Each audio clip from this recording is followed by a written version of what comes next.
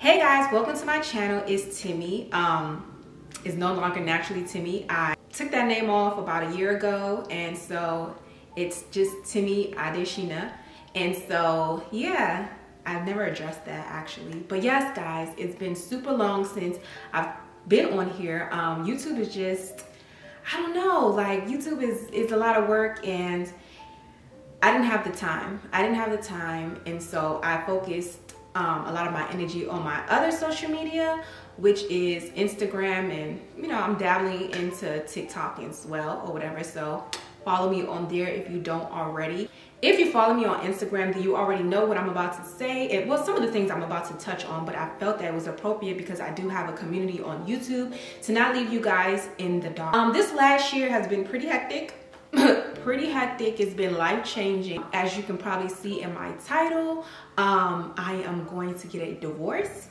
Um, guys, do not feel sorry for me like do not feel sorry for me because I don't even feel sorry for myself. I mean, some of the things I just like, dang, like, but I don't feel sorry for myself overall. I'm the happiest I've ever been in my life. Like this year has been the happiest that I've ever, ever been in my life. Yeah, I'm fine. I'm taking care of my child. My mental health has been my focus this last year.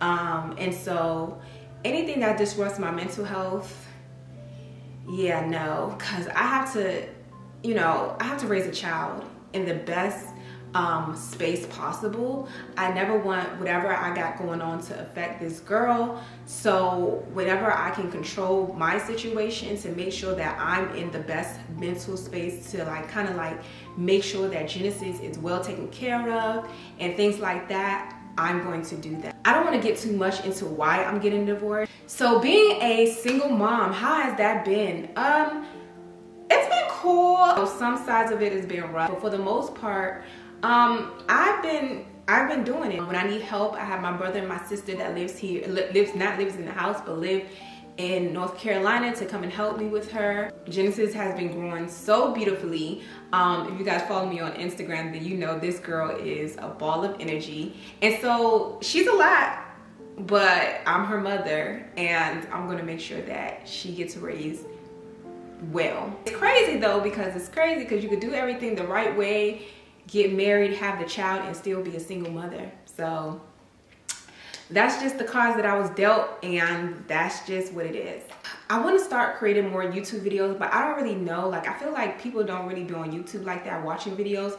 Let me know if I'm wrong, but um, I do want to start vlogging me and Genesis, me and our, our day and stuff like that. And so I want to know if you guys are interested in seeing our life. It's not the most you know, we don't have a lot of stuff going on. Most of the time we're chilling.